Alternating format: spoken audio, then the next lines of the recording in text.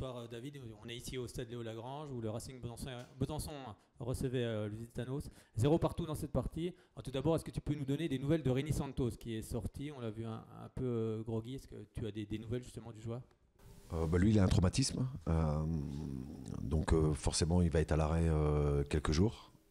Voilà, il a de nouveaux rendez-vous lundi avec le médecin, mais pour l'instant, voilà, il a très peu de souvenirs, mais bon, globalement, ça va, euh, ça va plutôt bien. Le médecin était rassurant. Alors il y a cette rencontre cette fois-ci avec cette première période où les débats sont un petit peu équilibrés, pas forcément euh, beaucoup euh, d'occasions. Il y a cette seconde période où vous rentrez avec d'autres intentions, mettez un petit peu plus de pression sur cette équipe de Lusitanos. Il y a ce carton rouge également qui change aussi un petit peu la physionomie de cette rencontre. Comment tu, tu analyses cette rencontre à chaud? Bah déjà, c'est le premier, euh, la première des choses que je retiens, c'est le minimum euh, requis ce soir, puisque voilà, quand on fait une première mi-temps aussi pathétique et aussi triste euh, dans le jeu, c'est compliqué, c'est compliqué d'obtenir d'obtenir mieux.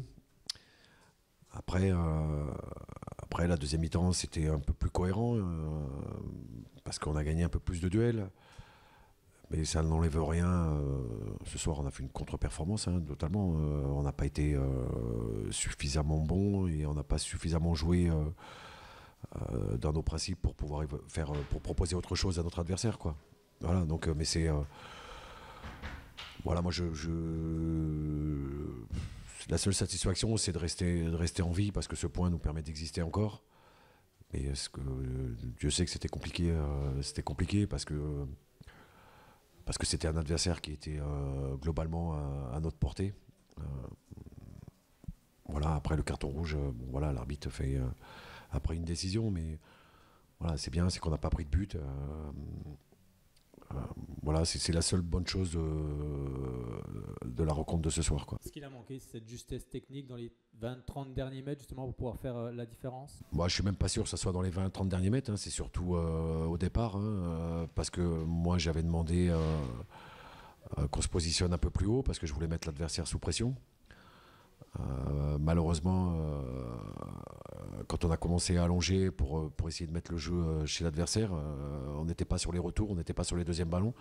Donc forcément, on s'obligeait à faire des courses vers notre but.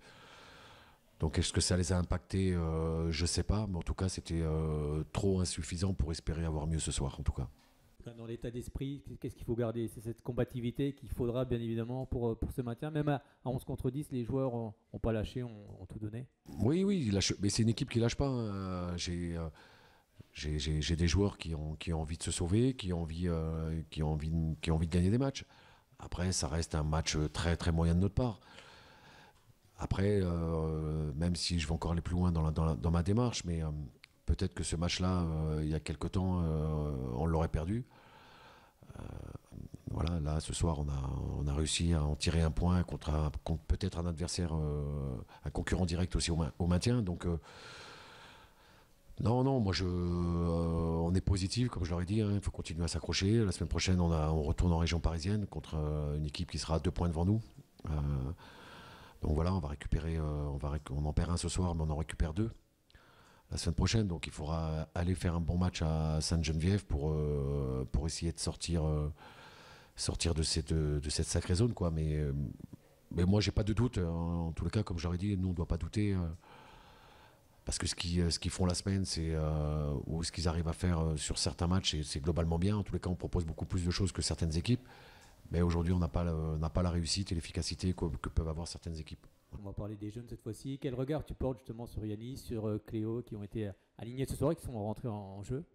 Bah, Cléo, ça fait un petit moment qu'il est avec nous. Euh, euh, voilà, ça se passe plutôt, plutôt bien.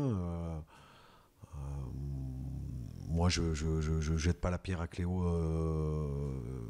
voilà, c'est pas à lui de supporter la responsabilité d'un match. En tout cas, ce qu'il fait, il fait des bonnes choses voilà, après, il faut accepter que c'est un gamin qui joue en 18 terrains, donc euh, forcément la marge elle est, grande, on a besoin de le développer. Donc il faut qu'il continue à travailler comme il le fait, euh, parce que c'est à travers ces matchs-là qu'il va grandir. Donc euh, non, j'ai voilà, j'ai plein d'espoir, et puis c'est un, local, donc c'est encore beaucoup, mieux. Après, sur le petit Yanis, c'est différent, parce que lui, c'est vrai qu'il est rentré sur un poste qui n'est pas le sien. En tous les cas, euh, quand il vient avec nous à l'entraînement, euh, ça se passe très bien. Un, c'est aussi un très bon profil. Euh, voilà, c'est dommage que je n'avais pas pu le faire rentrer au milieu parce que c'est un joueur qui a beaucoup d'activités, qui euh, voilà, mais bon, sur ces deux joueurs-là, ils euh, ils font leurs études encore, donc il faut, ils ont le bac à passer, donc la priorité pour l'instant, c'est d'avoir le bac. Et puis quand on peut, bah, on les récupère parce que c'est c'est l'avenir du club. Voilà, donc aujourd'hui, bah, on gagne du temps, on gagne du temps en les mettant plus rapidement, et puis puis voilà, puis ils sont ils sont bien rentrés dans le groupe. Mais non, non, moi très très satisfait. Et puis de toute manière, je suis un- euh, même si je suis entraîneur aujourd'hui, euh, euh, je reste un formateur au fond de moi. Donc ça, euh, voilà, c'est des joueurs qui ont des, des potentiels et des vrais profils. Et encore plus, c'est des joueurs du coin. Donc c'est encore mieux. Tu l'as dit, prochain déplacement sera du côté de, de Sainte-Geneviève. Voilà, où il faudra essayer de prendre des points, bien évidemment. Oui, forcément, il faudra prendre des points parce que, parce que la défaite de la semaine dernière, le match nul aujourd'hui ne fait pas beaucoup avancer. Euh, mais, globalement, les, en région parisienne, ça se passe plutôt bien, même si la semaine dernière on a perdu, enfin il y a 15 jours, pardon, mais euh, ça se passe plutôt bien. Donc j'ai, euh, mais j'ai pas de doute. hein. Nous, nos matchs euh, se suivent et se ressemblent jamais, comme je te disais il y a quelques temps. Il faut juste qu'on arrive à trouver une certaine régularité. Pour l'instant, on, est, on fait trop des, des, matchs gruyères. On est incapable d'aligner, de remplir nos matchs sur une longue série. Voilà, donc euh, voilà, aujourd'hui, il faut boucher tous ces trous et c'est à travers la, la- la rigueur, euh, la répétition des gestes ou, euh, et l'entraînement surtout. Voilà. Merci beaucoup, David. Bon match à Sainte-Geneviève. Et puis on se retrouvera ici voilà, pour le prochain match du Racing Besançon. Allez, avec plaisir. Merci beaucoup. Bonne soirée.